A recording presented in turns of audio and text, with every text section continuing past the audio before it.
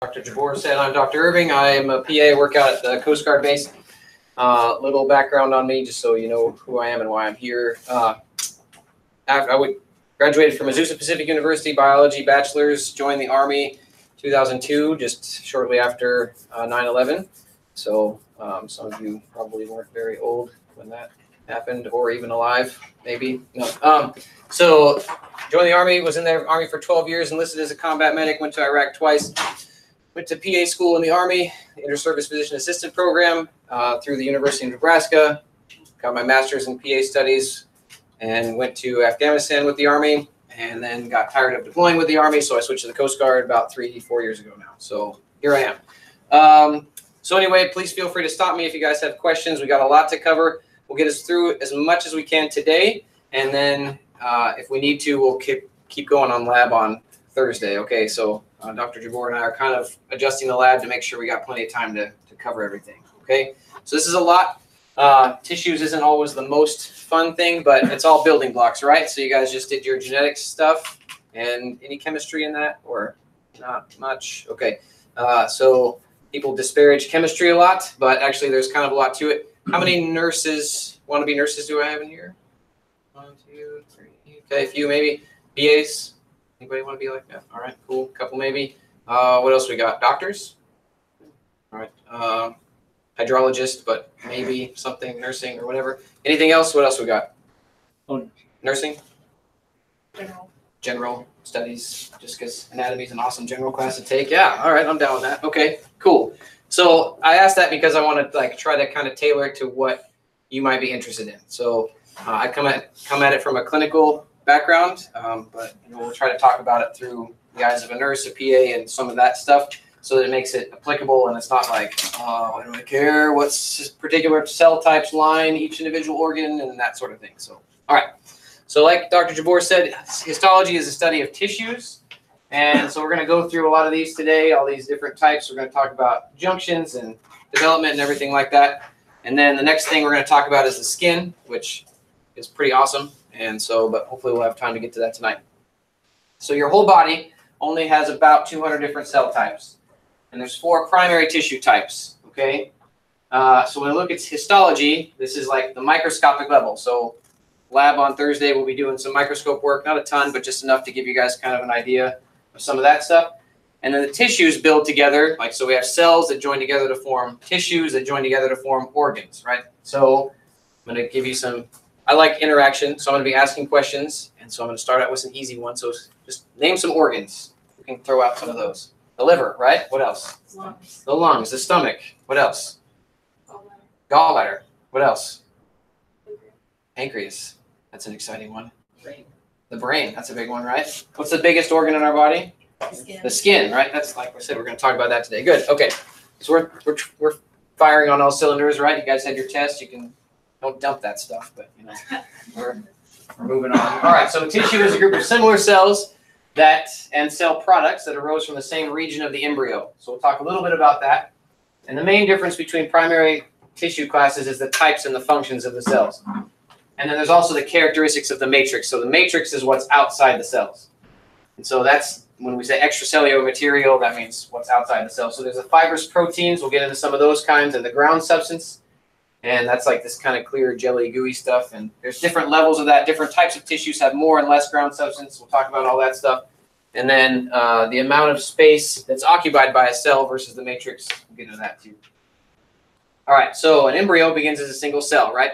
So as soon as you have sperm meets egg you have everything you need for the building blocks of a complete human being. So even though it's a tiny little cell it is now complete and through all those wonderful processes that you just learned about mitosis and all that stuff we eventually get to where you're sitting today, right? So it's pretty awesome how that all works out. Um, and so as this goes, so the first few weeks, it really it really happens fast too. So a lot of this stuff is happening really quickly. You get a lot of cell division early on, and this thing forms. You get the single cell that forms like a blastocyst and kind of goes through all these different changes, and then it starts to fold. And the different layers as it folds, that all start from the single cell. Those different layers then differentiate into different tissues and different organs. Okay, so it's it's remarkable. If you ever have time to study embryology, uh, it's just amazing. So when we look at the preparation of histological specimens, oh, that's a big word, right? Uh, so that just means like, what are we looking at for slides? When we do that, we have to preserve them in a fixative, something that's going to prevent them from decaying, and then we have to slice them into really super thin sections, because otherwise the light from the microscope's not going to penetrate far enough through for us to be able to see them. So they're mounted on slides and they're colored with a stain, and that's to you know stick to different components in there. So usually like the nucleus is going to be purple, and then the the cell body and all the other stuff you'll kind of see it as a pinky color. Um, and then when you section an organ, it no longer has that three dimensional shape. So when we look at a heart, right, it's about fist size ish, and but it's a three dimensional organ. As soon as we slice that up, it loses its three dimensional structure. So as we look at these things, try to picture them in their 3D component. It's hard, but uh, so like if we take it with an egg, the more you slice the egg, you're going to look at different parts. So sections one and five, you wouldn't even see the yolk, right? But then sections two, three, and four, you're going to see different levels of how big the yolk is comparatively. So you put all those together and you have a complete egg. So when you're looking at a slide, you're only looking at one tiny little thin, skinny slice that's super, super thin. It's the same thing when we look at, so clinically speaking, we look at MRIs or CT scans. So anybody familiar with those? Kind of maybe sort of. So an MRI uses the magnetic fields that's generated in your body by all your cells, and that takes uh, basically takes a whole lot of slices through the body. So you guys just learned about all your sagittal and your cross sections and all that kind of stuff, right? So an MRI will take using that magnetic field will then take different images through that, and it's going to take depending on what size of a scanner you have. So there's like the 16 slice and the 32 slice. So how many pictures you're going to get through each individual body region that you're you're studying. And so it'll do like you know uh, it'll do sagittal planes, it'll do uh, cross sections, it'll do all those kind of things. And so then the the radiologist then has to put that together and look at it, imagine it as a one big organ. So he or she is is scrolling through and seeing slice after slice after slice, and then they have to picture that as one you know whole organ. So when they're talking about tumors and things like that, then they have to imagine it as a whole unit rather than just the individual slice. Dragon? All right. Same thing when we look at uh, different types of tubules and everything like that. When we slice it, you got your macaroni noodle here. It may not even look like it, you know, it's connected at all. It looks like two individual tubes, but as you slice it differently, you see, oh, there's a connection. And then here it doesn't even look hollow. Same kind of thing when we have when we're looking at our slices. Okay, so this is sort of an example from uh, you know, a gland or a tubule in your body. So if you were to slice it this way, sometimes you can get a pretty good idea of what it looks like all the way down. But if you slice it this way, then you're only going to see the tube like that, right? Okay. so, and then here's an example of that. So you got your bones, you got your longitudinal sections where you cross, you know, cut them that way. Cross sections going that way, and oblique, we kind of cut in a diagonal. Uh, and all those things, you know, just depending on what you're looking at, it's going to show you different things. The obliques are tough. Uh, they can be valuable, but they're also difficult because they change. You're not seeing the cells in like a straight line shape. You're seeing the cells at an angle at times. So just again, you have to kind of picture what this organ is. So when you look at the slide, it's going to tell you what it is. And you have to picture, okay, if I'm looking at a section of a liver, what does the liver look like in space, generally speaking? And then how does this little tiny piece of it fit into that bigger chunk? All right. Questions on that stuff so far? Just breezing through that stuff really quick. All right, good. So epithelial tissue. This is the lining of pretty much anything. All right, so one or more layers of closely adhering cells. So they're all really tightly stuck together. Uh, they form a flat sheet for an upper with the upper surface exposed to an environment or a body cavity. So when we say environment or body cavity, what do you think we mean? What's like the environment? outside. The outside, right? Everything outside of us. And a body cavity, what would be an example of a body cavity? The abdominal well cavity. Okay, what else? Like what kind of organ? So uh, like we have different types of organs, right? So with the liver, is that a solid or a hollow organ? Solid, right? So what would be a hollow organ?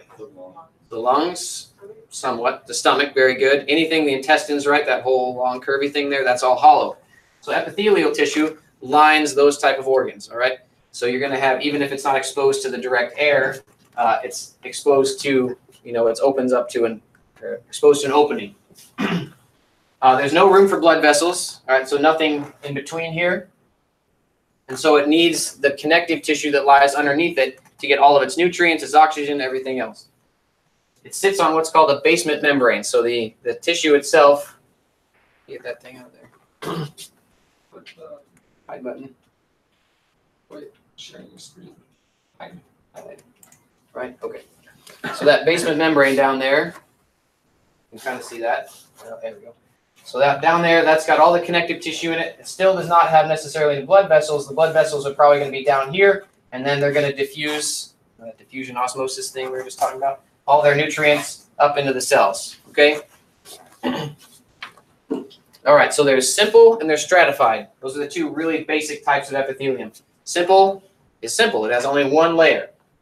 Uh, it's named by the shape of the cells. I think you guys looked at some of those cuboidal and squamous and all that kind of stuff. So we'll talk about that. You've already got a little bit of a, a kind of a baseline understanding of that. When we look at stratified, it's got more than one level. uh, and then it's again named by the shape of the cells that are on the top. All right.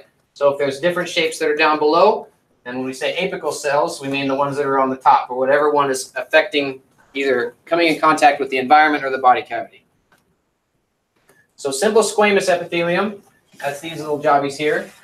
You see they're one cell thick. And again, this is a cross section, so there's cells here that you just can't see because of the way they sectioned it. But it's one cell thick. And okay, single row, they're flat. So squamous, think of squamous as kind of a flat, squished, squamous squished. That's how I remember it anyway. All right. Allows for rapid diffusion of substances. So why do you think that would be? Because to take. So, but why why do these ones let them diffuse rapidly? So you guys just did diffusion on your test, right? So what's diffusion? Somebody besides Autumn. You're good. I like you, but but I need some more interaction. Feed me, people. Feed me. All right. Uh, so yes, passing from one side to the other. Okay. Um, so alveoli, glomeruli, endothelium, and serosa. Those are a lot of big words, right? Anybody know where the alveoli are found? The lungs. Very good. What about glomeruli? Kidneys. All right. Those are in the kidneys. Endothelium. That's yeah, all over the place. Uh, and serosa. Yeah. So why? We started to touch on this. Now, why would, for example, the glomeruli? Why would they need to have? Uh, so why would simple squamous epithelium be beneficial to be inside the kidneys and the glomeruli? Let me give you a little background. The glomeruli are these little kind of a ball-shaped thing where you have uh, a whole bunch of blood vessels, and then you have a tubule from the kidney, and the little capillaries come around here, and all the blood filters through there, and it comes in, and then the waste products come out into this little uh, ball capsule thing, and then it starts to get filtered through, and some of that goes back in and gets reabsorbed, and some of it becomes urine. So why would simple squamous be a really beneficial tissue type to have in that sort of a scenario? Because the load they have to go through, as a specialized cell, they would be able to move quickly. Right. So, because anytime we're doing a filtration, anytime we want to move stuff from one side to the other, the less space we have to move it through, the easier it is. Right. So, if they're squished and flat like this, and there's only one layer of them, then it's super easy to move stuff from one side to the other. That makes sense? So, you'll find that I'm kind of a big why guy. All right. Because if you don't know why, then you don't know what the purpose is. And again, you're just to be like, I don't care. Dr. Irving, doesn't matter to me. Um, but so if we can understand a little bit of the why, then we get a little bit better picture of you know what's going on in your body, and again, looking at it clinically. So let's look at this from a clinical standpoint. Then, so if we're thinking about these layers that have only one cell thick, what then could be a a damage or a detriment? How could that be affected more easily than some places where you have more layers? Since you're an adequate job. So maybe not an adequate job, but it. I mean, our bodies function pretty well most of the time. Like your kidneys are working right now. I see water bottles out here, right? They're doing their job. They're doing their thing. Uh, but what else? Do you think that we could, if we have, uh, you know, we talked a little bit about it. So if you have a big overload in here, is it gonna be able to keep stuff out? So if you're putting too much strain on them, then they have a more difficult time of, of doing their job. Okay, so they're uh, if you're forcing more fluids, or if you have, well, let's say for an example, if you have what's called uh, hyponatremia, which means that you don't have enough sodium in your body. All right. So when you're looking at diffusion, right, water follows salt or osmosis. So your body needs salt for a lot of different things, but one of the purposes is uh, it keeps salt in a particular percentage in your body so that the water will then diffuse across as it's supposed to. So that's why if you don't eat and you only drink water, eventually you're going to come up with uh, problems of like conduction issues and all these other things, and you're going to have potentially kidney shutdown because your kidneys aren't even going to filter anything anymore. Because you have all this water that's in there, or they're going to filter too much and they're just going to be shoving all the water out, and you're losing everything. And you're not keeping it because there's no salt in your body to to maintain the water. Okay. And with these little cells, and then if we have like something called diabetes, you know, everybody's heard of that, right? Or as Wilford Brimley on those commercials says diabetes, you know, I don't know who says that, but he does. So then what happens is you got these big sugar molecules that are stuck in your blood, right? And that's these giant, so here's your chemistry. This chemistry is important and we love chemistry. All right, you got these giant sugar molecules and they're way too big to fit anywhere. And when you run out of insulin, which is made in the pancreas, then you don't have a way to put that sugar inside the cells. So now the sugar's in your blood cells or in your bloodstream, and it's like I always talk about it like it's the rowdy drunk at the bar. Okay, so you got you know your your bloodstream's like kind of the chill bar. Everybody's just hanging out. Nobody's like getting rowdy. Everybody's you know we're doing our thing. We're just hanging out with friends, and then all of a sudden sugar shows up, and sugar's like this rowdy drunk guy, and insulin's like your bouncer. So insulin comes and he takes sugar and he throws him into the cells. All right, or throws him on the street if you want to look at it that way.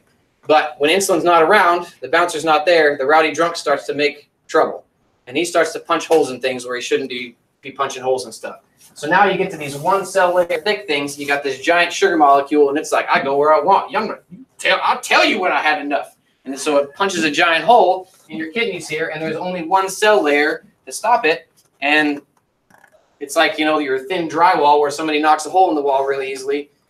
Basically, that's the same thing. So now you got sugar that's pushing its way through in other places, and now sugar's coming out in your urine where it's not supposed to, and your kidneys are getting uh, jacked up because of all this, you know, giant molecules pushing through there. So, all that to say, everything has a reason for why it's there, but uh, you know, there's also the potential for you know problems at these different areas. So, sorry, tangent there. But.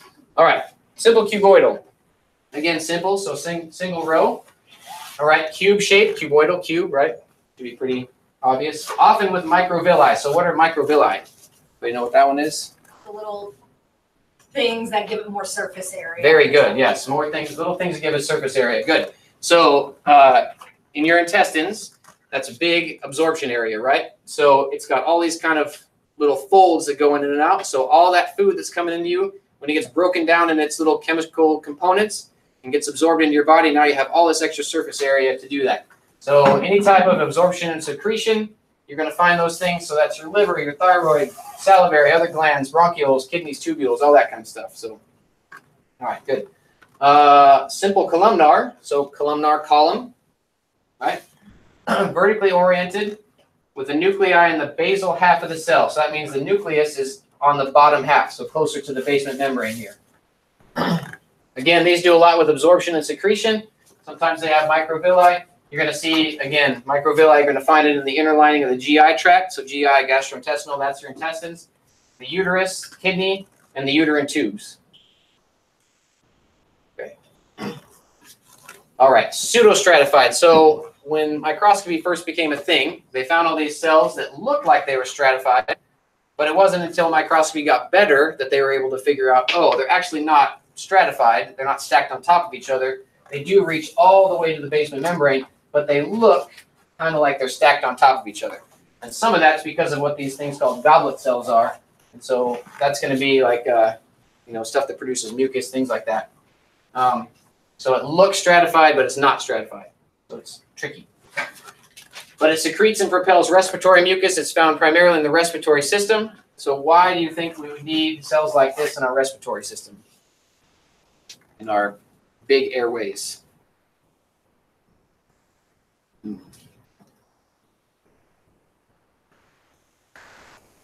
Good. Okay. I'm glad everybody's thinking. They have the answer in their brain and they want to spit it out, but they're embarrassed. That's okay. Uh, so, cilia. What are cilia? Anybody know what those are?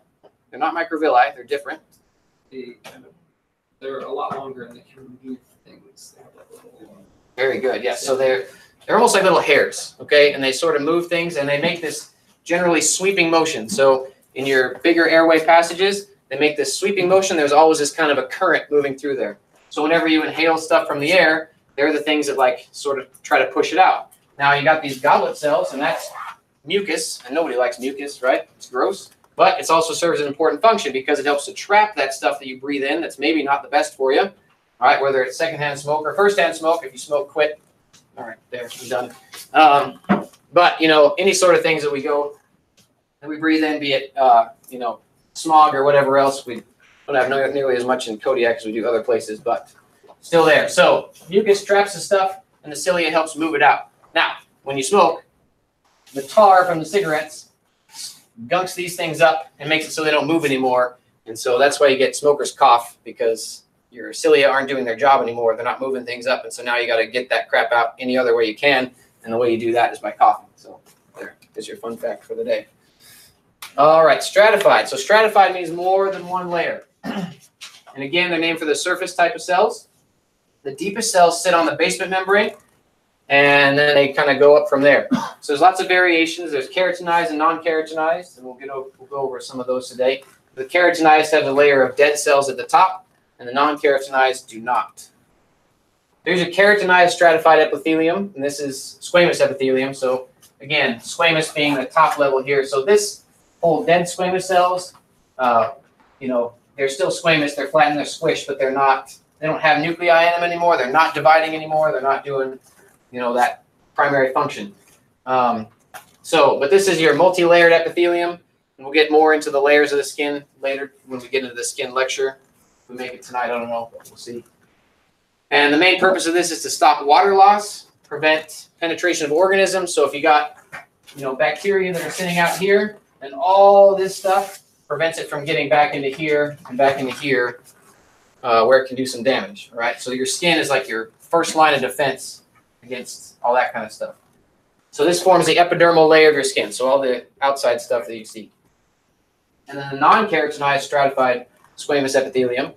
So this is multi-layered, so lots of layers, uh, but it's, you know, dead cells forming abrasion-resistant, moist, slippery layer. So these cells up here are still dead, but they're not, uh, they don't have that keratin, that hard stuff like you feel on the outside here. And this is like the inside of your mouth, on your tongue, uh, in your esophagus, and in the in the vaginal walls. so why do we think? What's the purpose? What's the benefit? We already talked about the keratinized ones. So why in these areas? Why is it beneficial to not have the keratinized? Because they need to let liquids through. Sure, that's part of it, right? It's pretty hard to chew if the inside of your mouth is like skin, right? Because then you got all this dry skin on the inside there. So we've got to have, you know, moisture in your mouth to be able to create saliva to help with the digestive processes. So that's a big one. Um, yeah, same thing with swallowing, all that stuff. It's important to have, you know, lubrication so you're not every time you eat, then you're just ripping skin layers off if you were if you had the keratinized stuff. All right, stratified cuboidal. Then two or more layers, stratified, two or more layers.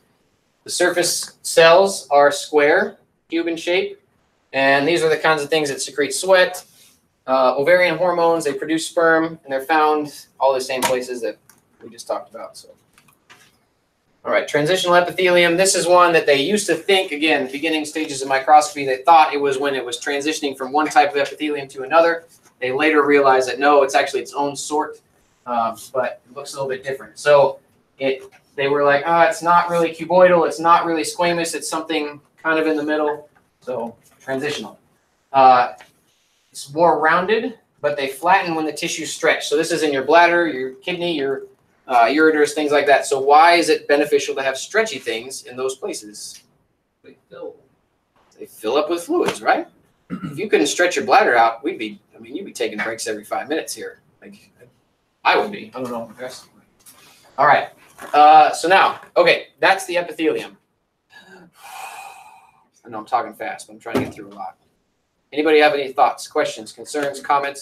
I'll even allow a snide remark because, you know. Well, I will say your description of diabetes is the best thing I've ever heard. Good. All right. the rowdy drunk at the bar, right? Now, maybe you'll never forget that. So, uh, I, I'm sorry, it's probably not on the test, but, but again, now you understand why we need simple stratified, simple stratified epithelium or simple squamous epithelium in a glomeruli, and what can go wrong when things get messed up. Good. Other questions, thoughts? If not, we'll move on to connective tissues. So when we talk about connective tissues, these are things that connect stuff, right? That makes sense. Some things in anatomy are just named after dead white dudes, uh, but other things are like actually make sense. So connective tissue is one of those things that actually makes sense. All right. Um, and they're actually trying to go away from the dead white guy naming because, frankly, who knows who Eustachius was that your eustachian tubes are named after? That doesn't help me. So they're in your ears, by the way. But, you know.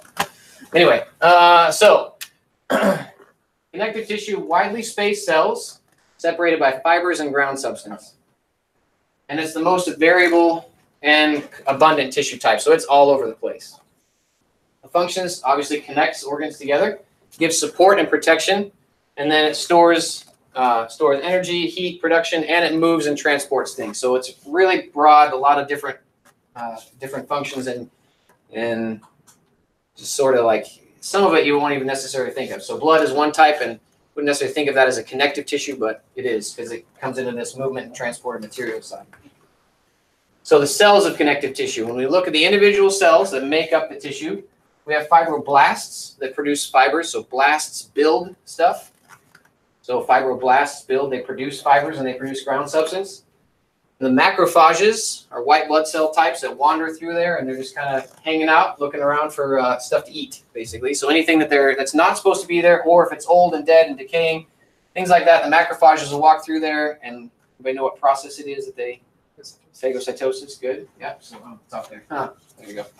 Um, so anyway, but yes, phagocytosis. I think that was on your test today too. So, uh, and they come from monocytes. So that's a different type of white blood cell. When you get into blood, you'll learn all about these different differentiations. This is sort of giving you a kind of a baseline, you know, just introduction to it all. Neutrophils wander in search of bacteria specifically. Plasma cells synthesize antibodies. So when we look at antibodies, the immune system in general, antibodies are these marker things. So they wander around, and every cell in your body has particular markers on the outside of it. And that's how your body recognizes what is supposed to be there and what's not supposed to be there. So everybody knows about blood typing, right? So you got A, B, O, and then AB, and that sort of thing. So that's a really simple way of of looking at this. Your cells, if you're who's type A? Anybody know? Type A. All right, Dr. Jabor. Anybody type B? Anybody not know their blood type? That's fine. If you don't, you don't. Okay. Um, type B. Anybody O? That knows? A couple O's. Okay. So A's, you guys have like a think like a a pyramid on top of your blood cells. Okay. It's a it's an expression, but the metaphor works. Okay. So you have a pyramid on top of your blood cells. The B's, think of it like a square on top of your blood cells. The O's, you got nothing. There's nothing there. Okay. So your body knows that your blood type, if you're an A, I see pyramids, and I know that you're supposed to have pyramids. And if anything else comes in that's not a pyramid, then that's not supposed to be here.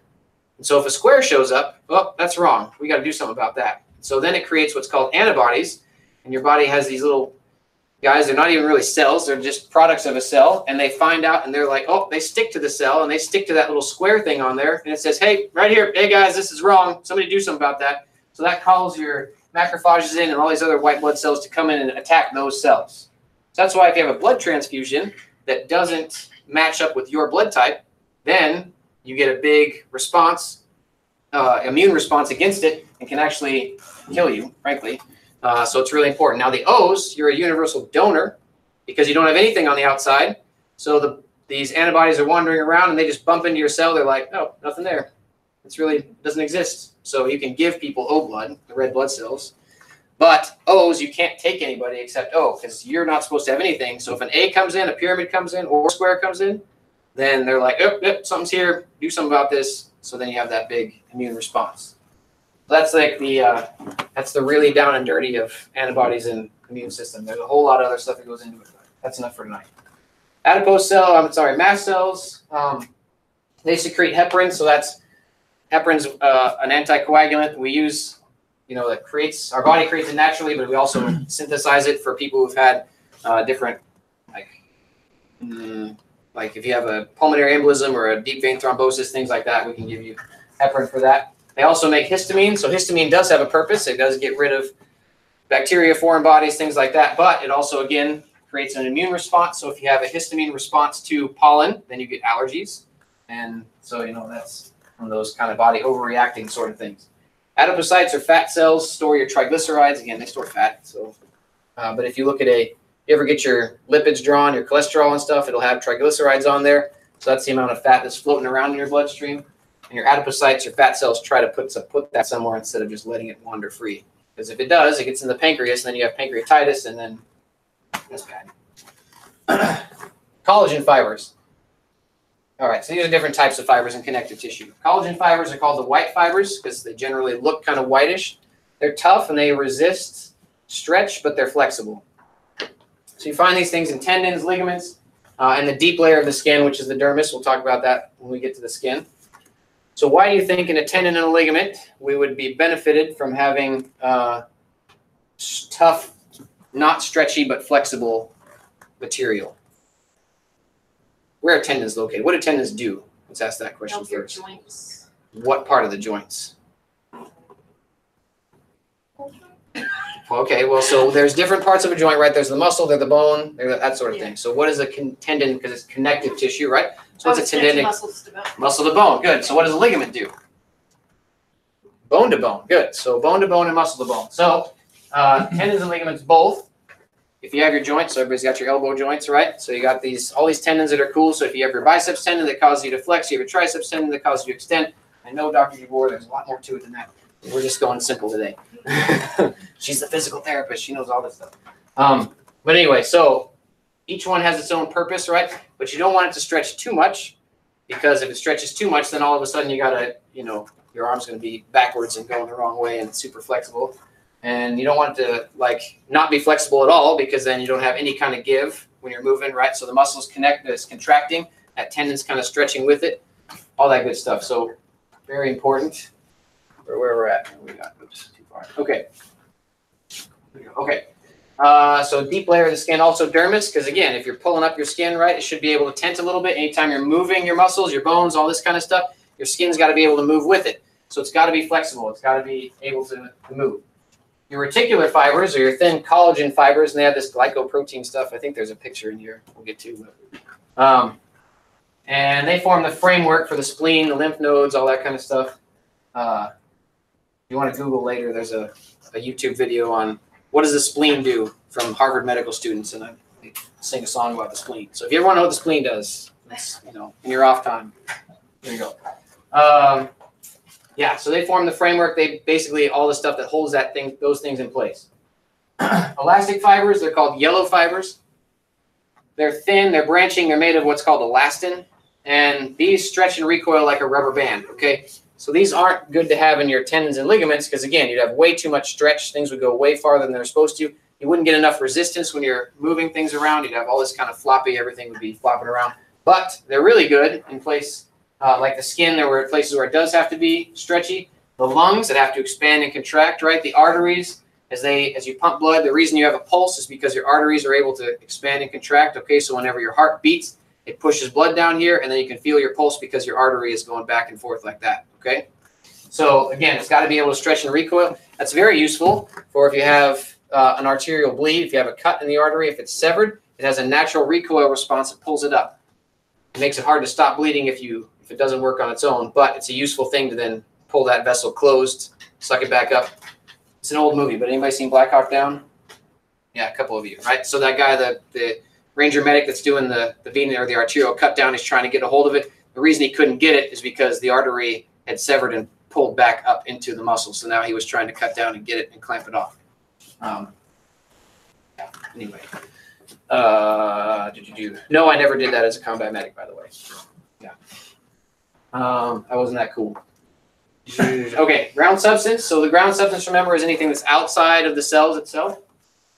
Gelatinous or rubbery material. It's in between the cells, and it protects by absorbing compressive forces. So anytime you have a compression on bones, on muscles, on any part of your body, it helps cushion some of that. Uh, three classes of large molecules. You have your glycosaminoglycans, and I'm sorry, I don't know what's on your test, so I'm just covering everything. So anyway, uh, which is chondroitin sulfate, and you probably have seen that in some of the like the Osteo Bi-Flex, some of your GNC supplements. They sell chondroitin and things like that. Um, trying to help your joints. Mm, jury's still out if it works or not, you know. But so if it doesn't work for you, don't spend your money on it. That's my short answer on supplements. Uh, so they're kind of unusual disaccharides. They that means disaccharide di meaning two saccharide sugar. So there's your chemistry again, right? So two sugars they attract sodium and they hold water. Again, water follows salt. So the sodium gets attracted by these protein sugar molecules and it sticks on the water there because the water is following the salt. So it regulates water and the electrolyte balance because those electrolytes are crucial for muscle contraction, for nervous conduction, for your heart, all that kind of stuff. You've got to have that. That's why you know Gatorade has potassium and it has sodium and all that things in there. Those are called electrolytes. So all those things are necessary for that, and your GAGs there uh, help control that. a proteoglycan is a bottle brush shaped molecule. When I say bottle brush, does anybody know what that means? Yeah. Okay, so I think there's, I, I know there's a picture of that one. So it's, there you go. So there's a bottle brush, okay? If you think of it, um, yeah, if you're gonna clean out a bottle, right, you need a brush that's got long extensions on it, so we'll come back to that. So bottle brush shaped, and it's embedded in the plasma membranes and creates a strong bond with other cells and other macromolecules, so it like, you see all that surface area on there, there's lots of things to stick to, okay? And so then that's able to connect stuff together and hold it. Oops. And then the adhesive glycoproteins, same kind of idea, protein carbohydrate complexes. So carbohydrates, they tend to be pretty sticky. Uh, anybody got kids in here? A couple of you? I got five of them. If you want extras, let me know. No. Um, but if you ever had a wet Cheerio on the ground and you let it dry, that's like the hardest substance known to man, right? You got to get a thing like scraper to get that thing off a screwdriver to ply it off the ground.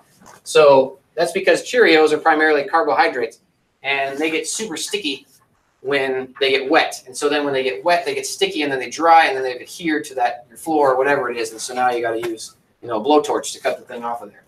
Same idea with this. There's a purpose to it. They bind plasma. They make so they use protein and carbohydrate complexes to stick stuff together, and uh, and they hold yeah outside the cells and they mark the pathways for cell migration. So when cells move through the uh, the, ma- the matrix, then they help mark the road. so there's your bottle brush uh, proteoglycan molecule. Ooh, uh, okay. Uh, loose connective tissue. So there's yeah, loose and dense. When we talk about loose, it's got a lot of gel-like ground substance, so it's kind of squishy in there. And there's three types: there's areolar, reticular, and adipose. Talk about those. And then there's a dense, which is you know much more closely packed, as it, the name would imply. And then the two types in there: there's dense regular and dense irregular. Okay, so areolar tissue. So these are your loose connective tissue. So areolar tissue, uh, loose arrangement of collagenous and elastic fibers. So you got both collagen and elastin. So there's some stretch and there's some that resist stretch. There's some that are like, you know, rubber bands and there's some that are not. So they kind of mix. They don't all have to be just one type of connective tissue in each in each organ or each tissue. There's a lot of mixing and matching. So uh, there's a loose arrangement of elastic, collagenous elastic fibers. There's scattered cell types and abundant ground substance. So what that means is there's cells. You can see the cells. These are these guys over here. There's lots of space in between the cells. You got all these fibers that are running back and forth. The different colors stain differently based on what they are. If I remember right, and I might be wrong on this one, but I think the pinks are the elastic and the uh, the darker purple ones are the collagenous. Um, check me on that one, but uh, yeah. So basically, there you know you can see that there's lots of different fibers in there, and then the cells are widely spaced between them. so this is underlying all your epithelia. So all those epithelial tissues that we just talked about, that's under all those, and it forms passageway for nerves and blood vessels. So uh, it kind of holds everything in place. And between the muscles, the fascia. So when you cut into a, a chicken, whatever, and you get that like white sheen stuff on the outside of it, that's fascia. It surrounds all your muscles. Um, and it kind of keeps everything in place because if it wasn't there, then everything just kind of falls all over the place, right? So uh, keeps everything tightly connected and where it's where it ought to be. reticular fibers. So these are a loose network of reticular fibers and cells, and they form the stroma or the framework for the lymphatic organs. So your lymph organs are like your spleen, again, your lymph nodes, all those things that swell up when you get sick. Um, and then the thymus, the bone. So the thymus most of you should not have a thymus anymore. That goes away uh, by the time you're an adult. So um, if it's still there, then can be a problem, but uh, you wouldn't really note it unless you know you had an MRI of your neck or something. So uh, bone marrow though also has this same kind of reticular tissue. Adipose tissue, everybody's enemy, right? Empty-looking cells within margins, and the nucleus is pressed against the cell membrane. So you see these are the nuclei right here, squished up against the cell membrane, and a big storage space in the middle there. So they're used for energy storage, insulation, space filling as cushion. They offer protection. Um, there's subcutaneous fat, so subcutaneous sub meaning under, cutaneous meaning skin. So fat under the skin. Anytime if you, you know, if you get a cut that's deep enough, you can see fat tissue coming out through it. Um, and then there's also brown fat that's called that's stored in hibernating animals. So your bears that are getting ready to hibernate out here, they store brown fat, and they produce heat only and no ATP. Actually, some there's a little bit of brown fat in babies too. So when they're first born, it eventually goes away as they age, but uh, they have a little bit of that. It helps with their temperature regulation as everything's kind of catching up as they're developing. All right, so that's your that's your irregular. So now we're getting or that's your loose connective. Now we're getting your dense connective tissue. So dense regular, it's dense, right? Squished together, and it's regular. Hey, somebody got a name right. Uh, parallel coll- collagen fibers, and again, we got these cells that are widely spaced apart, but these collagen fibers are all nice, laid down, easy, uh, very evenly. Tendons and ligaments holds the bone. Tendons are bone to muscle. Ligaments are bone to bone, as you guys said. And uh, yeah, so if they get stretched too far, you get sprains and strains and things like that. And then you got to go see Dr. Board. She'll help you. Uh, dense irregular. So this obviously is irregular. It's of all over the place, right?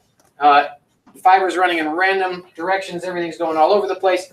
There's not a lot of open space. Everything's sort of compressed together because it's dense. Uh, it withstands stresses applied to different directions. So instead of the dense regular is more unilateral, the dense irregular is kind of all over the place. um, and it's usually the deeper portion of the skin and the capsules around organs. So you think your organs are like kind of sitting there and there's this stuff is also helping to hold them in place so they're not moving all over because if your liver was here and then all of a sudden it was over here and then it went up here you know that's probably a bad thing i don't know just a thought all right so the cartilage supports the connective tissue with a rubbery matrix cartilage most commonly place you're going to see it is on the ends of the bones so again same chicken that we cut before right so now you got that on the top of the bone you got that kind of rubbery squishy stuff that's cartilage and chondroblasts, right? So blast, anytime we see a blast, we know it builds things. So blast build. chondroblasts produce matrix. And then once they're surrounded by the matrix, then they're called a chondrocyte. So they're stuck there. They don't make it anymore as much. All right, so there's no blood vessels in the cartilage itself. So the diffusion has to bring everything up. So now we're like, oh, now I know why I learned about diffusion because now I know how my cartilage gets its nutrients and removes its waste. Uh, but this is also why injured cartilage heals very slowly. We don't have a lot of blood vessels, so you can't get all the nutrients and everything else that's needed to do the healing. So then the cartilage takes a long time to heal. And the major types of cartilage depends on the fiber types. So there's hyaline, fiber cartilage, and elastic, and we'll talk about those in a minute. Here's your hyaline cartilage, clear, glassy matrix, kind of cool looking, right? So you got your, what are these called now that they're surrounded by matrix? Oh, he just said it. Darn it. Go back a slide. Chondro sites, right? So it's when it's still not surrounded, it's called a chondro. Everybody got blast? Blast. Yeah, okay, good.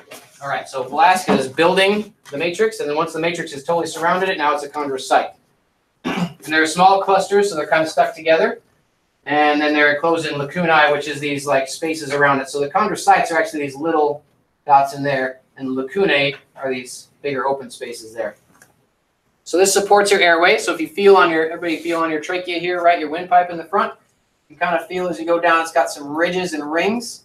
Those are all hyaline cartilage rings. Okay, so it's supporting it and keeping it open. Your esophagus right behind that does not have that. Why do you think that is? Why do we need to keep the trachea, have the trachea have the cartilage and not the esophagus? The esophagus has muscles in it to help move. It does, that's true, but why else? So, but the esophagus doesn't have anything holding it open, so it's like kind of squished flat all the time. Why is the trachea not like that? Because you always need to breathe. Because you always need to breathe, right? I'm not trying to trick you. This isn't hard. all right, so you always need to breathe, right? We're doing it without thinking. So always have to have that. And then plus, it's pretty exposed right here, right? There's not a lot going on in front of it. So you have that to help protect it. So if you're, you know, an MMA fighter and somebody puts you in a chokehold, you got a little bit of cushion before it collapses because it stinks, right? Jon Bones Jones is coming up. It gets his goat bone arm in there on you, and all of a sudden you're tapped out because you don't have any of your hyaline cartilage and your airway's squished. A bad day. But fortunately, we have hyaline cartilage that keeps that open. so it also eases the joint movements, and it's over the end of the bones and the movable joints, sternal end. So your sternum is right in the middle here, and the sternal ends of the ribs. So wherever your ribs connect to your sternum, that's hyaline cartilage in the middle. Uh, it's a supportive material in the larynx, which is your voice box, and the trachea, like we said, bronchi, fetal skeleton. So when you're still developing inside mom, uh, your your skeleton is initially made of this type of cartilage and eventually gets replaced by bone. Elastic cartilage is hyaline cartilage, but it's got web-like elastic fibers running through it. And it's amongst the lacunae. So remember, here's your lacunae, and your chondrocytes are in the middle there because it's a site. Site means cell. So chondrocyte. Chondro meaning cartilage, essentially. A cartilage cell, but a chondroblast is making cartilage, right? So now it's a chondrocyte, and it's stuck in this lacunae, the big space. and yeah, it's got all these fibers running through it, so it gives it more flexible, mm-hmm. elastic support. So that's like your ear right here, right? You can kind of flick your ear down and move it around a little bit more. It's you can feel it's not nearly as tough as the fibers that are here in your trachea. Tracking? Tracking. Epiglottis. Who knows what the epiglottis is? Because we put up all these words, but you don't know what it is, and it doesn't help you, right? Isn't it, it's, it's in the back of your throat, like when you're breathing and swallowing, it's the. It's the don't flappy thing that Flappy closes thing. that closes your trachea off when you're swallowing. Very good. Yes. So, uh, yeah. So it's and it's made of this stuff, elastic, right? Because it's got to flap open and closed. And when you're swallowing, you don't want food to go in the trachea because food in your lungs means choking, right? And that's bad. And then we have to do the Heimlich maneuver, and nobody likes that. or uh, what's the new word for it? Um, abdominal thrusts, because Heimlich is copyrighted or dead white guy. I don't know, one of the two. uh, but anyway, so but it's got to be flappy. It's got to go across there. So every time you swallow, that closes off your trachea, so if food doesn't go down the wrong pipe. And thank goodness it's there. Fibrocartilage. Cartilage containing extensive parallel collagen fibers. It never has a perichondrium, so it doesn't have stuff on the outside of it. It resists compression and absorbs shock in some joints. So your pubic symphysis, that's the when you have your pelvic bones. The here we go. Here we go. You guys can see on uh, Mr. Bones here. This is the pubic symphysis right here in the middle. Okay, and so this is going to be your fibrocartilage. Very tough, resist that compression, um, absorb shock in there. The meniscus, we know what the meniscus is, where it is. No, meniscus. It's on your knee. Very good. Yeah. So on your knee, and uh, it's you know, there's kind of different discs. It's this tough fibrocartilage discs. They're on the bottom. They're really great shock absorbers. But if you tear them, then they hurt, just like anything.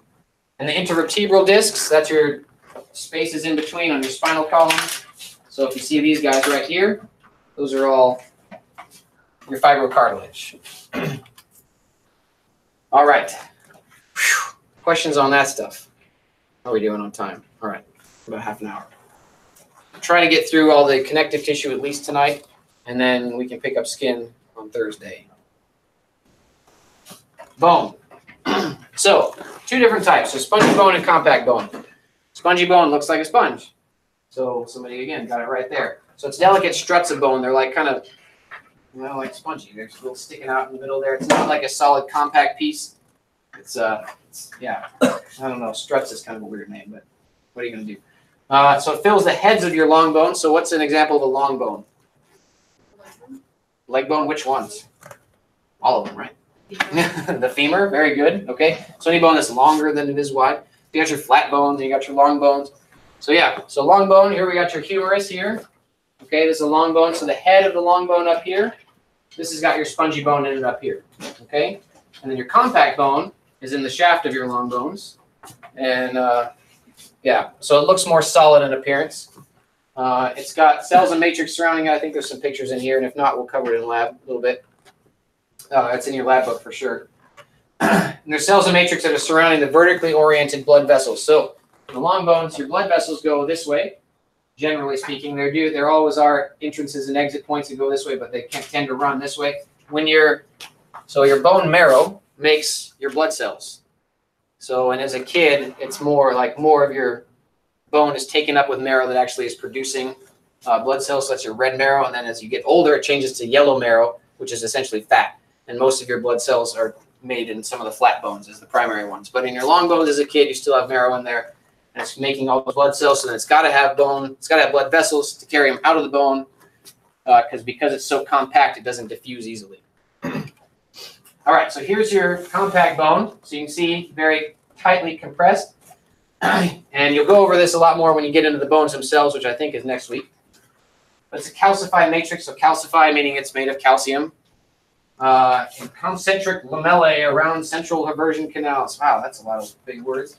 So it circles around a hole in the middle. All right? Like, why make this harder than it has to be? Learn the big words because you'll be tested on them probably, but you know, it's okay to like think of it that way. At least that's how I do. Um, so the central canal oftentimes will have your blood vessels running through it.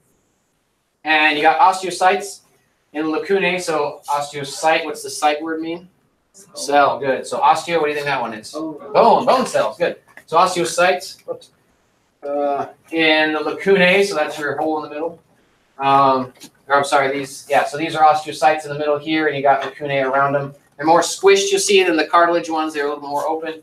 These are more squished. So if we think of osteocytes as these ones, then what would be the things that make bone? Osteoblasts, good. Pay attention. Well done. I candy you. Throw out there. Just imagine I did, and then yeah, she has it. I can't give away her candy though. Anyway, uh, so bones form physical support, leverage for muscles. So you got to have something to pull against, right? That whole physics. Nobody likes physics. I shouldn't say that. People like physics a lot, but uh, you know, for every action, there's an equal and opposite reaction. So whenever you pull on a muscle, it's got to have something to pull against, or else it's not going to do anything. So that's the whole. That's one of the main reasons for bones. It stores minerals. So you need calcium not only for your bones, but for your heart, for some of these other blood vessels and nerve functions and muscle contractions. So it can store those minerals in the bones to be used later if you need them, and found in the skeleton. Blood, right? So this is the weird connective tissue because it's not like the other ones where it's a whole bunch of cells laid down that actually directly connect something, but it's a bunch of cell fragments, some with nuclei, some have a nucleus, and some of them don't. So the non-nucleated, the ones without a nucleus, pale pink cells, are the red blood cells, and the nucleated are the white blood cells. I don't know why they call them white; they're always purple on a slide. But that's how they work. Um, so, because everything looks a little gray white if you don't actually stain it, it's not very interesting. So that's why we make the nice colors. but found in the heart, blood vessels, all those places that you would expect. So when you have blood, and I think you'll talk about that more later, but uh, they start out as these kind of much bigger cells with a nucleus in them, and as they mature, eventually that nucleus goes away, and so now all they are is essentially a little floating bag of hemoglobin. And hemoglobin is the molecule that carries oxygen in your blood, and hemoglobin is made of iron. So if you don't have enough iron, then you get anemia and iron deficiency, and so that's why you need iron to then carry oxygen to your tissues. Because if you don't have that, then you die. So, uh, but these are essentially bags of hemoglobin, and they fall around. And why do you think it's beneficial for blood cells to not have a nucleus?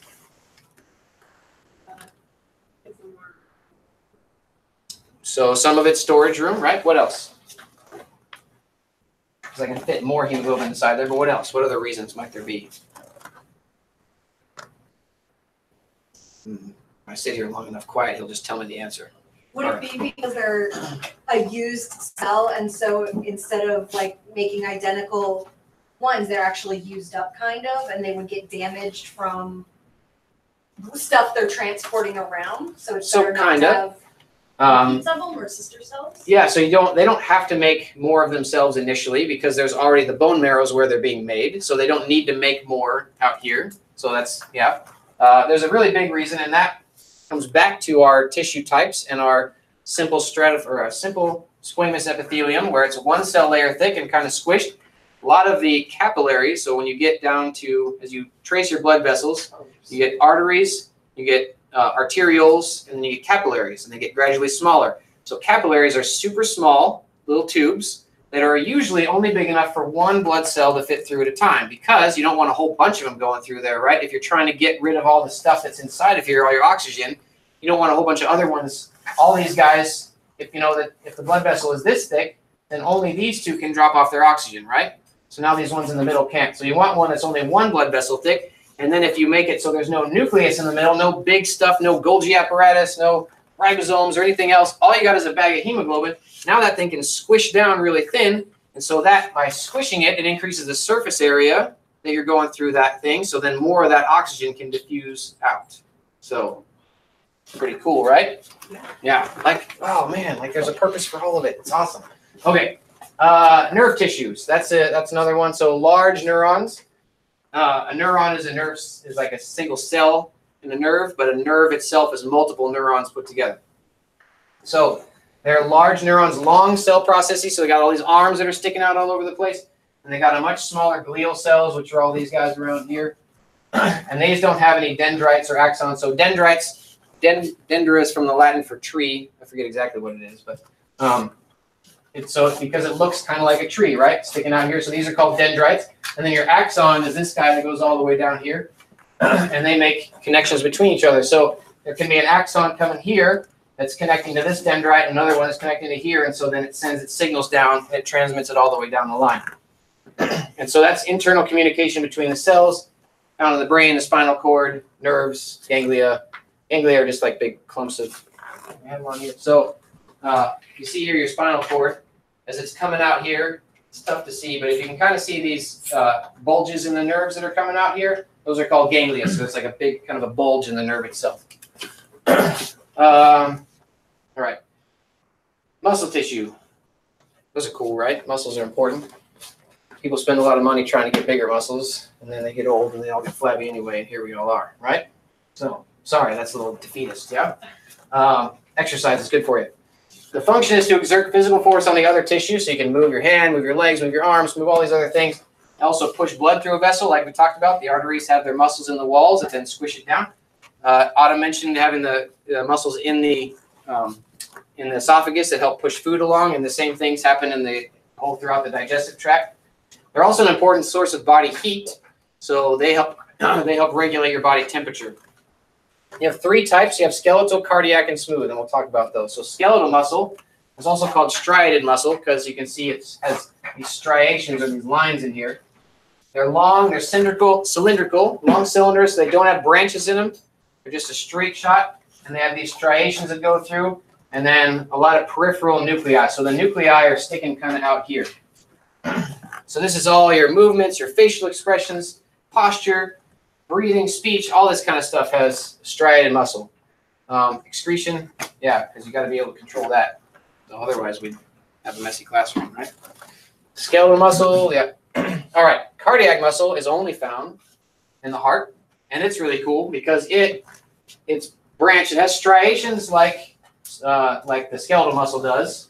See that? But these are straight, and these are branched. Okay and it has intercalated discs. Those are these things here.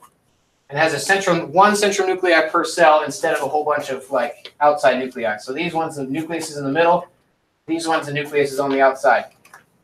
So you have one centralized nuclei per cell, and it's used for the pumping of blood. The cool thing about these guys, and you'll get more into it in the heart, is they have their own uh, contractile. Like you don't, not only do you not think about them, but they have an automaticity, so they fire regularly. So that's why your heart is beating, you know, at the at the resting heart rate, whatever your heart rate is right now, it's doing its thing. And then as you increase your activity levels, then it automatically speeds it up. You go to sleep, it's going to slow itself down. So it's automatic, automaticity. Smooth muscle. This is in your GI tract, so all throughout your esophagus, your small intestine, large intestines, all that stuff. Um, and then the uterine walls as well. Uh, this does not have any striations in it, you see. It also has one centralized nucleus instead of lots of peripheral ones like the striated does. But this has, you have no voluntary control over these. So it just happens all the time.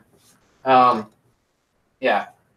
Hair erection, so when you get the, uh, you get goosebumps, that's what it's talking about there. Control of your pupils, you're not thinking about that when it's closing and opening based on how much light's coming in or what kind of drugs you're doing.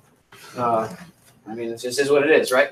So, but sheets of muscle. So instead of like having, uh, you know, clumps of maybe ropey muscles or whatever you think of when you think of skeletal muscle, you've got sheets of muscle that surround the whole organ. And yeah, so right, I'm talking about that. Yep, yep, yep. Sphincters. So you have sphincters that are both have voluntary and inv- involuntary control. So you don't necessarily have to think about not going to the bathroom while you're sitting here. But then when you really got to go, you got that voluntary control to hold it in because you're like, dang, Mr. Irving, Dr. Irving, you got 20 minutes because I'm going to get out of here. All right. Intercellular junctions. So this is the stuff in between your cells that uh, allow for connections and all that kind of stuff. So you got different types. And then every cell except blood have some sort of anchoring to each other or to the matrix surrounding them. So even if you have those types, like the connective tissue where there's one cell here and one over here, they're anchored to the matrix itself. And that's by intercellular junctions. so inter is between cells, intra is within the cell. So intercellular, between cells. All right, so you got different types here, and we'll go through some of those. There's your gap junctions, your desmosomes, and your tight junctions. Your tight junctions, these completely encircle the cell. All right, so you can see it's almost like a zipper here. Um, and they have complementary, so grooves and patterns, so everything kind of fits together really nicely. And it prevents substances and bacteria from passing between them. So in the GI and the urinary tract, why do you think these are beneficial in those type of areas? Because you have so many outside things that go through a process, it's probably the most vulnerable. Right. So you don't want all that stuff that's out here. You don't want just a mad rush of all that coming through. You want your body to be able to regulate what it picks up and what it doesn't. So it keeps these really tight junctions around there. So if you think of, uh, I mean, even your large intestine, right? So we get to finally made your your dinner from last night is making all the way through, and now it's become fecal matter. Gross. Why are you talking about poop? Okay. Anyway, because it's part of life. Everything comes down to poop. Just remember that. So there's a song about that too. Uh, anyway, so anyway, you got fecal material floating around in here. You don't want that coming through here, right? So tight zipper-like junctions. Let's keep all that where it's supposed to be, so it goes where it needs to go. Because poop in the abdominal cavity is a bad day for everybody, and a trip to the general surgeon up here, Doctor Abadir, and or Doctor Larson. Yeah. Uh, do, do, do. yeah. So GI urinary tract, same thing. You don't want urine going backwards where it ought not to be, because that's waste product. Desmosomes is a patch between the two cells, and uh, it holds them together and resists mechanical stress. So any kind of stretching or pulling on them. Um, it's got microfilaments that kind of you sort of see it down here. Those little guys that stick together that hold them there, and they terminate on a thick protein plaque. So this is all made of protein here. You got these microfilaments that are sticking everything together right there, and uh, yeah, and then the cytoplasmic filaments. So then there's filaments on this side. And so it's hard to see with the lighting as it is, but there's filaments inside here that are attaching to that plaque and kind of keeping everything together. So this is seen in the uterus, the heart, epidermis, again, places where it needs to stretch more. Gap junctions are communicating junctions, and that's a ring of so six transmembrane proteins. So a water-filled channel. So this allows you know uh, direct stuff to transmit back and forth between them. So you have these spaces that go here. So anything that's small enough to fit will just go directly between them. Uh, so small solutes, that's like your salt, your potassium, things like that, can just go straight through. Your big stuff, remember your your uh, rowdy drunk sugar isn't going to necessarily be able to push himself through there. And if he does, then we got more problems. All right. So now, okay. Pause. Any questions on that stuff? Again, I know we're covering a lot tonight, and you guys just had a test, and you're like, when is this going to be over? That's okay. We're getting there. We're making it. Uh, the more we do today, the less we'll have to do on Thursday, and then the more time we'll have for lab. So, all right. So the glands, lots of different types of glands. They excrete substances for elimination and use elsewhere in the body. And they're mostly epithelial tissues, and so we'll hopefully remember some of these words that we were just talking about. So you got your exocrine glands, which means that connect, maintain a connection to a duct, like an epithelial tube. And then your endocrine glands have no ducts, but they go straight into the bloodstream. So exocrine, exo, out, endocrine, endo goes in. All right. So this is like your hormones and things like that. They just go straight into the bloodstream and get transported somewhere else to be used or, or discarded. Mixed organs have both exocrine and endocrine. So there's your liver, your gonads, pancreas. Um. Uh, so like your liver, well, pancreas, yeah, all these things. They make both hormones and they make other kinds of things. So depending on what the need is and where the what the particular substance is, they uh, use those different different types of glands. So an exocrine gland, this remember we see the tubules here, so stuff's going into the tubules. So it has a stroma, which is the capsule, and the extensions of the capsule, that, and a sept called septa, which divide the gland into lobes. So this is your whole gland, and then the stroma, or septa here, divide the gland into sections. And then the parenchyma is everything that's, you know, that's creates the secretion. So that's these guys up here. And yeah, stick aside, okay. And the acinus is a cluster of simple cuboidal cells surrounding the duct draining those cells. So there you go. There's all your simple cuboidals. Uh, I know they're not terribly square shaped, but again, when you got a gland and they're all kind of facing in, so you got to think of them as being in that three dimensional thing. So then they're going to be more cube shaped when you look at them like that. All right, so these are types of exocrine glands. You got your sweat glands, you got your mammary glands, and you got your uh, pancreas glands. So your secretory portion is here, and then your gland is this beigeish stuff up here. So sec- secretory is purple, and the beige one is the is the gland portion. So simple glands, like your sweat gland, uh, doesn't have any branches coming off of it. It's just one straight tube. Whereas compound glands have multiple branches coming off, and the shape of the gland kind of determines what type it is. So, um, yeah, so if it forms a, for, a sort of a sac like this, then it's an acinar, and it's a, or yeah, yeah. So more of a sac, and then the tubular acinar is like a sac that goes into a tube like that. And see the gland, you'll notice the difference here. They both look similar, but this is all the secretory stuff that's still just in the sac itself, and then the tubule goes up here. Whereas this, it's still secretory all the way up into this tubule here. So that's the difference between an, an acinar and a tubular acinar. Those are big words. I don't use them in my daily practice, just so you know. If you're like, PA really need to know acinar and tubular acinar? No. But hey, you do for this class, so learn it. Uh, and then when you're, you know, after you're done, then you can dump it. But types of met- methods of secretion. So you got your serous glands, you got mucus glands. So the serous is like a thin, watery.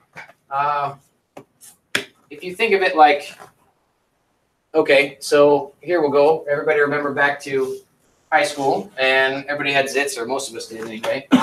so if you ever had a zit that popped, you get all the yucky white stuff come out, and at the end of it's this thin, watery, kind of yellowish stuff. That's the serous secretion from that. So you had the um, and the pus, the exudate that came out, and then the last stuff is that serous stuff. So that's that thin, watery secretion. And so that can be your sweat, your milk, tears, digestive juices, anything that's watery is more of that serous gland.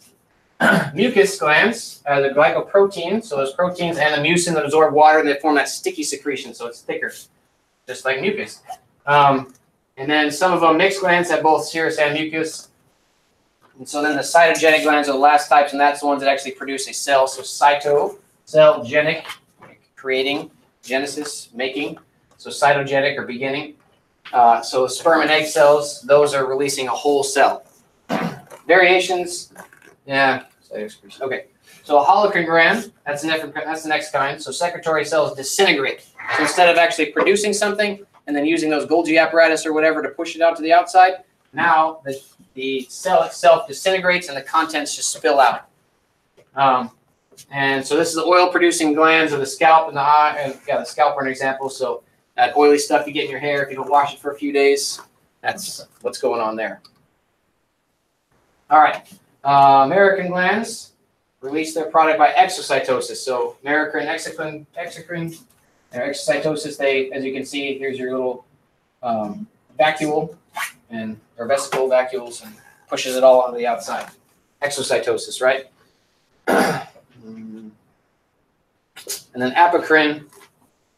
Yeah, so they made a distinction between apocrine and merocrine. They're really merocrine glands where they're, you know, doing their thing, but they have an, you know, an apical cytoplasm and anyway, it's just an old name. So mammary and armpit, armpit sweat. Congratulations, sweat uh, apocrine secretion. So yay. All right, mucous membranes. Like we talked about, here's your membrane member.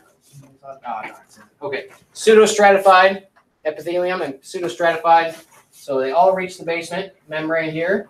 Even that one comes down there. There's only one cell layer thick, but it looks like there's more. So it's pseudostratified. Uh, and then it has these, you know, these goblet cells that make in the mucus here, and they're pushing that out. And then that's got your uh, yeah, epithelium, your lamina, all these different parts of it. So and then your basement membrane is down here, and this has all your connective tissue in it. So you got your epithelial tissue up here, your connective tissue down here, and that's looks like areolar tissue. So you got all your blood vessels running through it, and then this is lining the passageway again that opens to the exterior, so uh, your lungs, that sort of thing. And then the mucus coating helps move everything out, like we were talking about, and gets it all out where it ought not. All right, cutaneous. So that's your, yeah, so the external body symptom. Okay. Um, yeah, so the whole external body surface is made up of cutaneous membrane, which is that stratified squamous keratinized epithelium that we talked about. It's all different layers. Um, and then, yeah, so then you have your synovial membranes, and that lines your joints. Your serous membranes lines the interior membrane. So serous, remember that serous fluid that we made is that thin watery stuff. So anything that's lining the inside of an organ or a cavity uh, is going to have that kind of a, uh, lubrication on it going to help everything move the way it's supposed to. All right, and we talked about all those different types. So you got your, yeah, endothelium lines the blood vessels in the heart, and then the mesothelium, meso middle, lines the pleural pericardial. So the pleural is around the lungs, the pericardial is around the heart, and the peritoneal. Um, oh, just blanking on that one. Why am I blanking on that one? I know that word. Come back to it. It's gonna bother me tonight. All right, hyperplasia, tissue cell growth through cell multiplication. So we're getting, uh, the cells are multiplying, they're making more of themselves, that's hyperplasia. Hypertrophy is an enlargement of pre-existing cells. So your muscles, they, you don't get more cells when you exercise, your cells just grow larger. Um, and then neoplasia is growth of a tumor. So when we look at neo as new, but neoplasia, usually we talk about that as being a bad thing. So we say neoplasm is a benign or malignant tumor, and then it's uh, through growth of abnormal tissue. So benign and malignant, you know, we can discuss that sort of thing, but benign essentially means that it doesn't spread to other parts. It stays in one area. It doesn't mean it's not dangerous. It just means that it's going to stay in that one spot. So you can have brain tumors that are benign, but eventually, if they keep getting big enough, they're going to cause problems and can still lead to death and everything else. So even though they don't get, you know, uh, malignancies don't spread to other organs, they still take up a lot of space and uh, cause seizures and eventually death. So you still have to do something about them. So just because somebody says it's benign, it really depends on where it is. Now, if it's a benign fat tumor called a lipoma, just in the skin, we don't do anything about it, just there. It really depends on just because somebody says I have a tumor, doesn't mean they're going to die you know, benign could be bad, could be not so bad. Malignant, that's always bad. Just don't get one of those. All right. Atrophy. That's cell shrinkage from loss. So exercising a whole lot, you get hypertrophy, right? And then atrophy is when it shrinks from not working out, as an example. So senile atrophy, we all lose muscle mass as we age. And then diffuse, disuse atrophy from lack of use. So got a leg in a cast, then you're not using that one anymore, and take the leg out of the cast and it's a very different size than the one that was uncasted.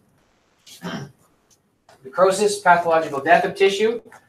And gangrene is from insufficient blood supply. Gas gangrene is due to an antibiotic, anaerobic bacterial infection. So an meaning not, aerobic oxygen. So no oxygen means the bacteria live in an area where they don't get oxygen. If they had oxygen, they would die, but they live, they thrive on no oxygen environments. And they produce gases that then cause tissue death, and that's how you get gas gangrene. Infarction is a sudden death. So when you have a myocardial infarction, that means death of the tissue in the heart. Uh, and that's from lack of blood. Usually, you know, eventually it starts out as what's called an ischemia, which means a lack of oxygen. And it turns into an infarction, which means death. So if somebody's having a heart attack, they'll usually start out with an ischemia, and the tissues won't get enough oxygen because there's a clot or whatever reason. And then eventually that leads to tissue death, and that's infarction. A decubitus ulcer is a bed sore or pressure sore, laying on one side too long. If you're in a, a nursing home or hospital, you have to be turned really frequently. Otherwise, you get big ulcers on the side because that pressure on the one side without being moved tends to cause the skin to erode, and you get ulcers there. Apoptosis is programmed cell death. So all your cells, can say all, never say all, right? Never say never and never say always. Um, but the majority of your cells have a pre-programmed lifespan. So like your blood vessels, your blood cells, they live about 30 days and they're useful. And then after that, they go through apoptosis and they dissolve and they get sucked up and then the parts are kind of recycled and made into new blood cells or go to different places. Some get wasted out. Um, but they shrink and they're phagocytized. They're, you know, yeah, and then, you know, it talks about this. So the uterus after delivery. So while mom's carrying baby, uterus gets much larger.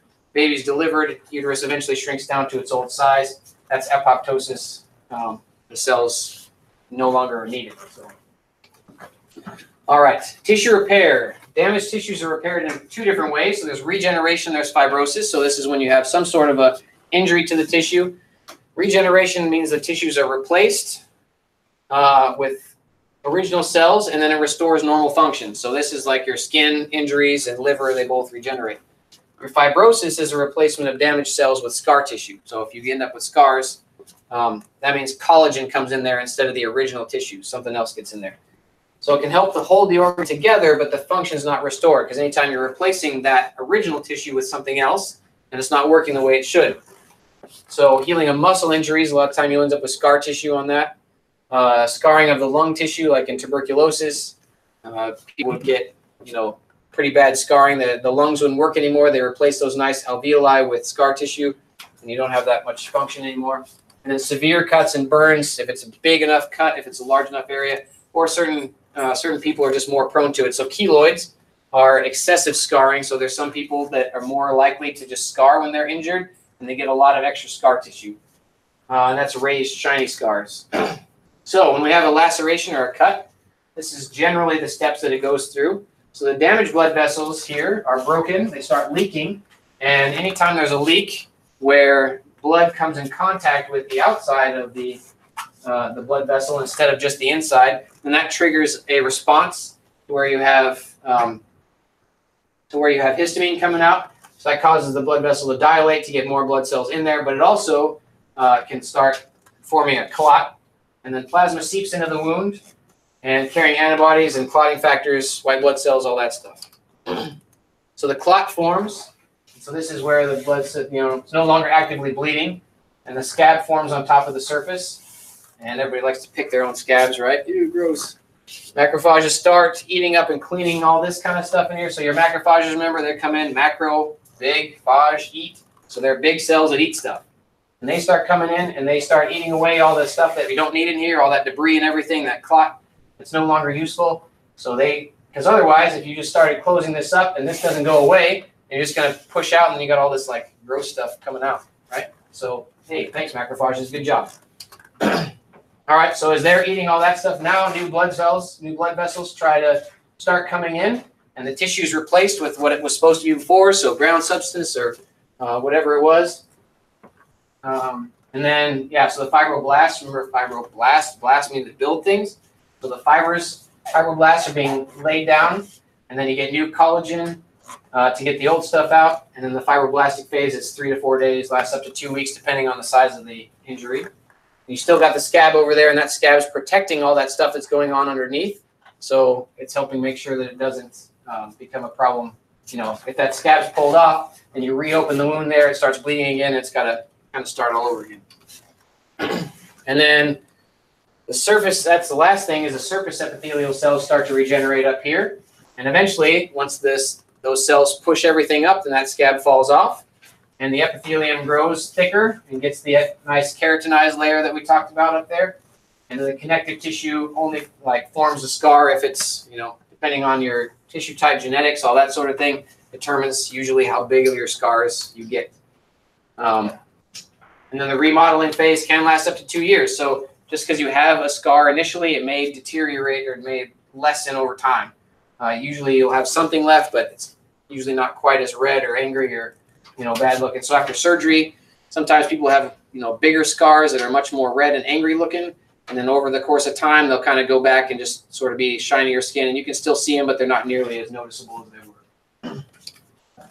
All right, I finished five minutes early, so we'll cover this on Thursday. And yeah, questions, thoughts, anything? Yes. Uh, I was thinking, kind of, uh, maybe even draw like a little flow chart, just to kind of synthesize all this, you know, what is the epithelium versus the cartilaginous Okay. or the uh, connective tissue. Just Okay. Real quick before we go, Sure. we've been drawing it on the whiteboard. I was thinking, Yeah, I was just gonna try to get this to go up. put that up. I know, I'm sorry, you guys. There's a button behind you. This one here. Oh, that one. There we go. I'm gonna turn this off. Okay. Because we just learned a lot of different things and Yeah. I want you to know the classifications A lot of it. big words, right? Okay, so we'll go, we'll go simple. Uh, so let's, let's take a blood vessel, okay? I was even thinking, I was thinking like a, like a flow chart, like Oh, I see, okay. nervous muscle, connective epithelium, and then what, mostly under Uh, the epithelium connective, Okay, just so that like it's like s- separated in their minds. okay, so, let's start Just with our last couple of minutes. all right. I'm just gonna abbreviate so we save time, all right? So here's your epithelial tissues, okay? So who remembers different types of epithelial tissues? So we have, major types are two different groups of them, uh, Multi-cell and single cell, which I forget. Stratified and simple, right? So you have simple and stratified. Try to write somewhat legibly. Yeah, keep it, just like keep it Okay, simple. and so then within those things, and there's also the cell shapes. Who remembers the cell shapes of them? Squamous, Squamous, what's that one? Squished, right? Squamous, squished. Okay, cuboidal, cuboidal, good, columnar. Good, and columnar. Good, and so, and then also with this one, what was the third one of this one? Simple stratified and pseudo stratified, right? Pseudo meaning fake or false, stratified. Okay, good. So you have your types, and then within those types are your shapes, right? So you can have in squamous, simple squamous, stratified squamous, and then columnar, simple or stratified or pseudo stratified. I don't believe there's any such thing as pseudo stratified squamous or cuboidal. I think pseudo stratified only applies to columnar. If you find something else in your reading, then go with that. But okay, uh, what else did we cover tonight? Oh, I gotta remember. Connective tissue. Uh, so we have the connective tissue next. Okay, so you got your connective tissue. Remember what types? So let's start with, um, okay, so two broad categories of connective tissue. Remember how they look, right? Yeah. There was regular and irregular, okay? Regular and irregular. Okay, and so then within those two types, what's the other ones that we have? Remember, so there's dense regular, there's loose, and there's dense. Okay, so there's, yeah, I guess it's all, it's kind of hard to make a flow chart out of these ones because it's sort of overlapping. Yeah, But, um, so there's loose, dense. Okay, so it can be dense regular and dense irregular, and it can be, well, loose is usually its own thing, but, um, yeah, so dense can be regular, irregular, and then loose. Uh, okay, so of the loose types, there's areolar, there's reticular, and another one, A D I P O S E. adipose. That's your fat. Okay, and then your dense has the regular and irregular. Yeah, that should actually probably be down here. Irregular.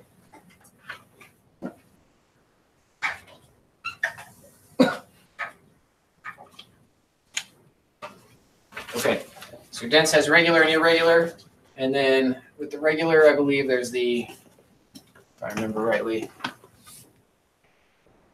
Cartilage.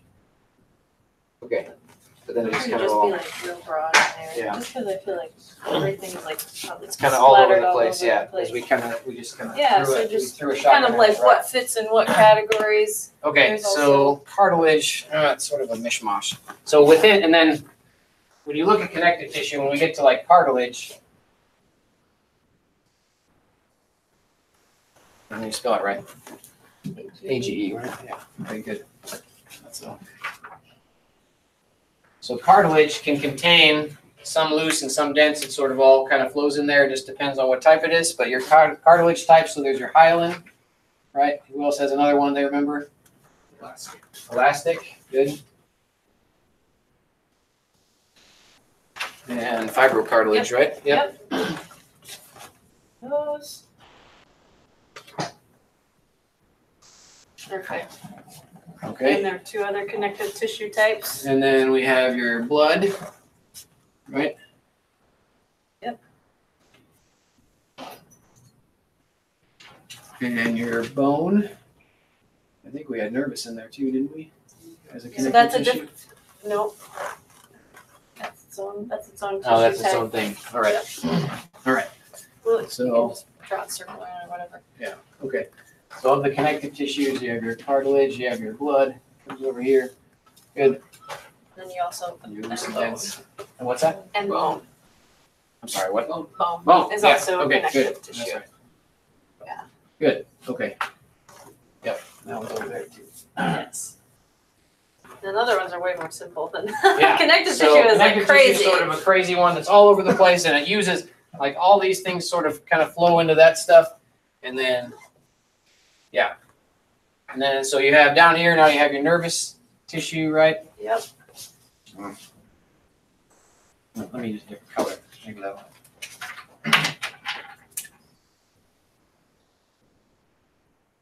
Your nerves, and a nerve cell is called a what? An individual nerve cell? A neuron, good.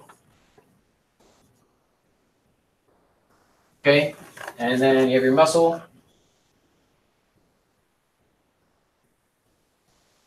Okay, and so we have three different types. Skeletal. Skeletal, good. It's also called what?